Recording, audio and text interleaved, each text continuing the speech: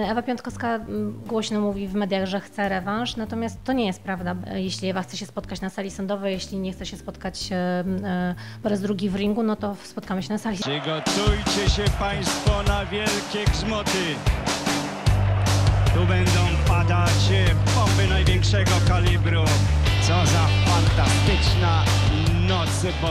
Cześć, witam Was serdecznie. Dzisiaj moim gościem jest Ewa Kleo Brodnicka, niepokonana mistrzyni świata WBO w wadze superpiórkowej. Pięknie wyglądasz, e, no chyba niewiele ponad e, limit wagi. Jak to wygląda? Dzień dobry, dziękuję za zaproszenie. No niewiele, 63 kg utrzymują się, także e, w, postanowiłam, że nie będę zbijać do kolejnej walki 10 kg i trzymam, można powiedzieć, no nie jakąś bardzo taką restrykcyjną dietę, ale e, wyzbyłam się cukru i e, staram się bardzo zdrowo odżywiać. Kiedy Cię zobaczymy w ringu?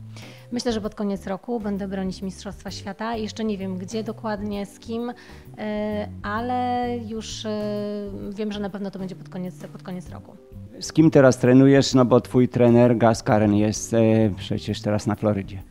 Tak, jest na Florydzie. E, Trenuję na co dzień tutaj e, z m, w Warszawie z Jackiem Dymowskim i Przemysławem Kantorowskim. E, Natomiast już w lipcu wylatuję na Florydę do Gasa na dwa tygodnie. Co prawda nie za długi okres przygotowania treningu, ale no to nie są jeszcze przygotowania do walki. To jest bardziej taki wyjazd, można powiedzieć, no, szkoleniowy. Tak? Nie chciałabym zapomnieć tych wszystkich wskazówek, które mi przekazał, chociaż i tak staram się wszystko wykonywać na treningu, no to potrzebny mi jest gaz z tą charyzmą, żeby e, przekazał jeszcze, jeszcze więcej e, informacji. Nie mogę się doczekać, już praktycznie bilet kupiony. Jeszcze teraz tylko ustalamy, e, wybieram miejsce zamieszkania.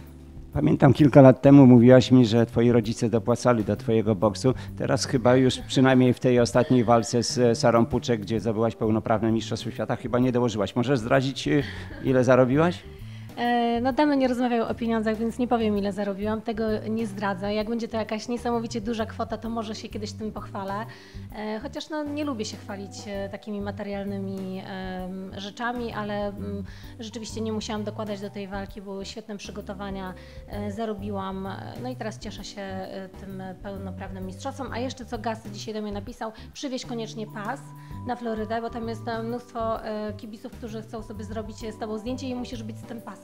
Więc ja podejrzewam, że ja polecę z tym pasem, potem narobię za dużo zakupów e, i będę musiała ten pas zostawić, bo pewnie przekroczę jakiś tam limit wagowy, no i on pewnie przyjedzie, przyleci niedługo do Polski, to mi e, znowu e, zwróci ten pas. E, Jak twoje relacje z Ewą Piątkowską, gdy ostatnio była moim gościem, mówiła mi, że przygotowuje dla ciebie pozew. Chodzi o słynny incydent w Ergo Arenie. Trwało to trochę, bo jak twierdzi, nie, nie mogła zdobyć nagrania e, z tego momentu. No ja nie brałam w tym udziału, nie wiem, czy, czy ona jakiś materiał wideo uzyskała. Jakby jeśli mm, wpłynie pozew, no to oczywiście wtedy będę na ten temat rozmawiać. Teraz chciałabym taką e, kurtynę e, ciszy na to e, spuścić i e, nie będę się na ten temat wypowiadać, bo wydaje mi się, że to są po prostu no, pewne jakieś zaczepki. Także e, jeśli Ewa chce się spotkać na sali sądowej, jeśli nie chce się spotkać e, e, po raz drugi w ringu, no to spotkamy się na sali Właśnie, wspomniałaś o e, drugim pojedynku w ringu. No, myślisz, że kiedyś dojdzie do waszej walki? Um, Fajne ostatnio jakby stwierdzenie e, usłyszałam od jednego z pięściarzy, który przegrał walkę, nie powiem jego nazwiska i powiedział, że chce rewanżu, nieważne gdzie, nieważne e, na, na jakich tam to się odbędzie, w jakim mieście, w jakich rękawicach, ile rund, żeby tylko dostał e, ten rewanż. Ewa Piątkowska głośno mówi w mediach, że chce rewanż, natomiast to nie jest prawda, bo jeśli my składamy propozycję, że chcemy na przykład w mojej kategorii wagowej, no już nie mówię o tam do 59 kg, ale żeby się spotkać w 60 kg, żeby, e, żeby miała tym razem wybrała, miała prawo wyboru jako zwyciężczyni e, pierwszego pojedynku, miała prawo wyboru ilości rund, czyli chciałam 10 rund na takim mistrzowskim dystansie i chciałam wybrać e, rękawice, no to, to są takie trzy warunki, które w pierwszej walce ja się na wszystko zgodziłam, bo mi bardzo na tym pojedynku zależało i jeśli ona by te warunki spełniła, to czemu nie, to możemy się spotkać. Masz jeden pas w mistrzyni świata, podobno możesz o następnych. E, Marzę, żeby jeszcze ten obronić jeszcze e, trochę potrenować z Gasem Karenem i e, żeby podnieść swoje umiejętności, bo już w ostatnim pojedynku naprawdę czułam, że progres był, że zrobiłam progres, także mm, kolejny pas myślę, że mm, można o tym pomyśleć w przyszłym roku. Gdy przygotowywałaś się do pojedynku z Sarą Puczek, byłaś z Tomkiem Adamkiem na obozie. Razem byliście w kościele. To on cię namówił, czy e, jednak e, w niedzielę chodzisz do kościoła na co dzień? E, No właśnie on mówi, że ja za mało chodzę do kościoła. Nie, chodzę, można powiedzieć, e, sporadycznie, jak mam taką potrzebę, noszę krzyżyk. Gdzieś tam jakiś Tomka Adamka wpływ na pewno jest. No ciężko to wytłumaczyć, ale to jest osoba wywołująca duży wpływ na ludzi. Próbuje nawracać wszystkich, ale nie jest to jakoś takie na siłę czy męczące.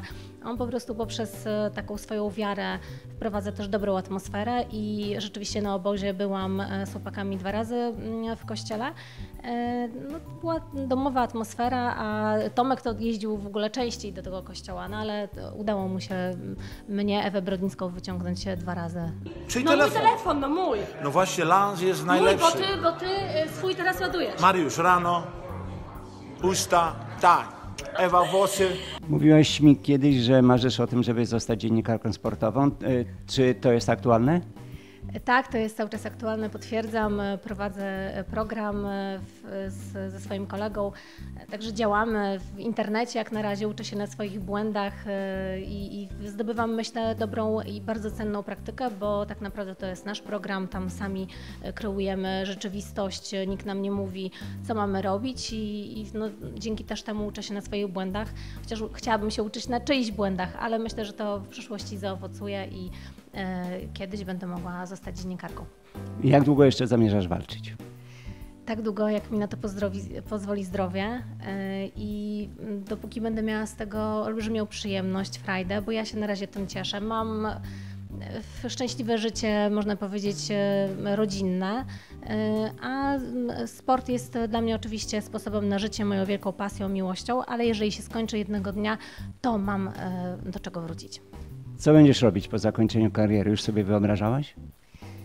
E, No, będę dziennikarką. E, Co będę sobie, jak ja sobie to wyobrażam? E, Wyobrażam sobie, że będę bardzo żyła na pewno aktywnie. Będę dziennikarką, e, będę piła kawę, prowadziła samochód, rozmawiała przez telefon, ale oczywiście przez tutaj głośno mówiący. Życie na pewno nie spowolni, bo robiono takie badania i ludzie bardzo, bardzo starzy zadali im pytanie, czy żałują tego, czego w życiu nie zrobili, czy żałują, że podjęli się pewnego zadania, ale no, nie udało im się, przegrali. E, I wszyscy odpowiadali, że woleli przegrać, ale spróbować. Więc ja nie chcę na starość żałować, że czegoś nie spróbowałam. Chciałabym e, żyć każdą e, minutą. Ewa, takie pytanie, nie musisz odpowiadać. Jak moja żona oglądała konferencję prasową przed tą walką z Sarą Puczek, spojrzała na ciebie w telewizji oczywiście i mówi, zrobiła sobie usta, prawda? E, Zip. No, nos, usta i inne części ciała powiększają się od uderzenia rękawicami, także dziewczyny przychodźcie na salę treningową e, i naturalny lifting też wklepuje się dobrze, dobrze kremy. E, no dbam o siebie, ale nie będę mówić e, jak się upiększam. Pięknie wyglądasz, Ewa. Życzymy Ci wszystkiego najlepszego, dobrego humoru, obrony Mistrzostwa Świata, żebyś nadal była taka ładna, no i żebyś zrealizowała swoje marzenia o dziennikarstwie sportowym. Wszystkiego najlepszego. Dzięki za rozmowę. Bardzo dziękuję.